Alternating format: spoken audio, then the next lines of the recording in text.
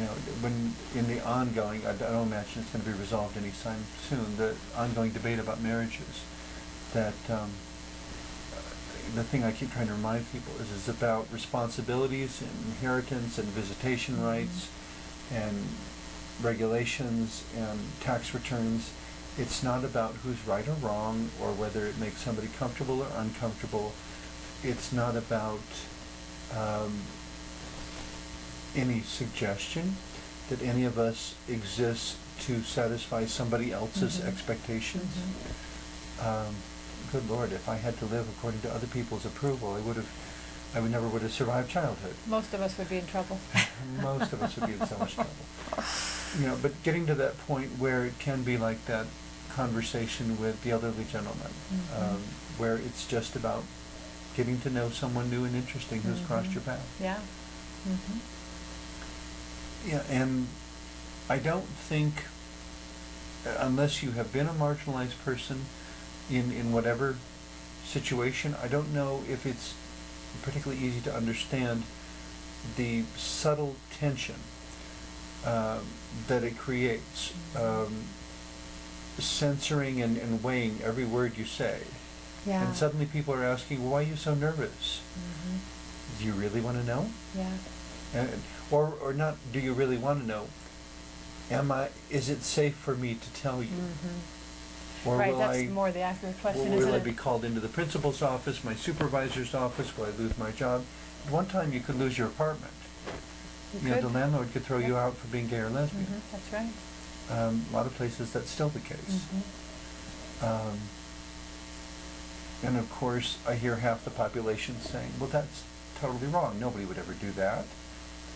To which I would say, could I introduce you to a few, um, Few hundred. a few hundred?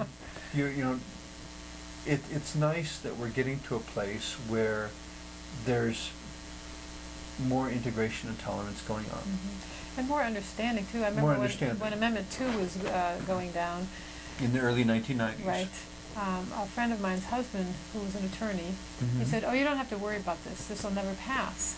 And we had this discussion, which actually turned into a bit of an argument, unfortunately, and uh, about because I really wanted him to get Mhm. uh, that yeah, this could easily pass. And he, he just had no concept of it, and it felt really um, discounting. Mhm. And then when it passed, he was very surprised and just kind of shook his head, saying, "Ah, "I can't believe that." Um, but it felt discounting to not have somebody acknowledge his complete lack of awareness that Mm. this could be, and indeed was. Well, I also in the early 90s at about that time, I was having a discussion with someone I knew in college who was active in her particular church and wanted us to be, quote, friends just like we were in college. And I said, at the moment, conservative Christianity and gay and lesbian people are at each other's throats. Um, or rather, the religious is at the throats of gay and lesbian people. I don't know that we've ever really tried to eradicate them, but we certainly wish they'd stay in their churches instead of coming out in our streets. But, um, but they would probably say the same thing. I'm sure they would. They would like us to I- be in. You know, that we need to find a world that's big enough for both of us. Mhm. But the point that bothered me was that she didn't even want to acknowledge or wrestle that there was a conflict. Mhm. Right. And I say, no, this is, you know, like um, Sean Penn's uh, in the movie about Harvey Milk. You know, this is not just an issue, this is our lives. Right. Um, this is my ability to have relationships, to have Mhm. food, clothing, and shelter. Mhm. This is, To have protection for my family uh, in illness, family. in, in healthcare, when I'm gone, all of that. if memory serves me correctly, and I'm just going off of memory here, and that was, granted, it was 15 years ago now, when the whole Amendment 2 fuss happened in Colorado. Mhm. uh, 15 years ago at the time of this videotaping. And I think it's a timeless issue in that it's anything that passes by law can be repealed or vice versa. Uh, I mean, we could make a gay civil rights law and it can be repealed, or it can make a homophobic law and it be repealed. I mean, Mhm. when you're dealing at the governmental level, things can flip-flop overnight. That's what happened with Proposition 8. The whole business of coming Mhm. out is that you're dealing with a change at a grassroots level. Mhm. And when you change it at a grassroots level, it doesn't really matter what they do on a governmental level because people won't live up to it if they don't believe it. Mhm. If you're living in a place that's accepting, they can pass whatever restrictive law they want, and everyone at the grassroots level go, "Oh, brother, you think I'm going to do that? Of course not. You know, this is somebody I know. I would never treat them that way." Which is where the coming out, to me, is, is still the more effective approach. You know, which is interesting in the movie about Harvey Milk, that coming out is what he chose to do as, Mhm. as his strategy, Yeah. instead of playing politics. Right. What I'm remembering from the time that Amendment 2 passed due to bizarre, misleading media campaigns And wording, very and wording, confusing wording. very confusing wording, uh, it was just such a, a mess, but it was a deliberate deception. Yeah, a friend of mine's grandmother, she, uh, she was a lesbian, Mhm. and she'd been talking to her grandmother about this, and her grandmother was like, "Oh, I'm really, I'm going to vote, you know, just the way you want to, and then not want me to because I believe in your rights."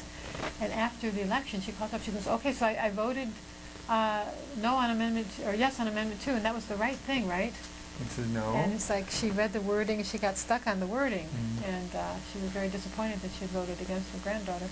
But the thing that sticks in my mind is the uh, subconscious or, or indirect message that it sends when something like that happens. Um, when you devalue any people group in that way, it's as if you're sending a message out through society that it's okay to harass, Mhm. intimidate, whatever, Mhm. oppress these people. Mhm. No one ever said that, but that understanding suddenly went out like ripples through the pond. It's like implicit. From the time that Amendment 2 passed until the time the injunction was granted in January saying the law will not go into Mhm. effect, during those, what, for about six or seven weeks, um, if memory serves me correctly, six gay men were brutally murdered. Mm. Brutally murdered. I mean, not just shot. They were they were hacked. They were Mm. stabbed multiple times. I mean, it was Mm. just brutally. And none of those made the headlines of the local paper. Mhm. What did make the headlines of the local paper in early January was that the police were meeting with local leaders of the gay and lesbian population to assure them that there was not a serial killer on the loose. Mm. That meeting made the front lines. Mhm. None of the murders did. Mhm. That's appalling. Mhm. It's absolutely appalling.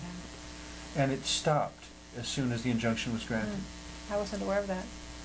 Um, and the only place you could find out about them was through the local gay press Mhm. Because it wasn't reported anywhere Mhm. else. Yeah. Um, that's appalling. Yeah, when you, You know, when you sanction uh, discrimination, Yeah. the people that would uh, have those kind of beliefs feel permission to come out of their own closet and uh, Mhm. do some horrendous things.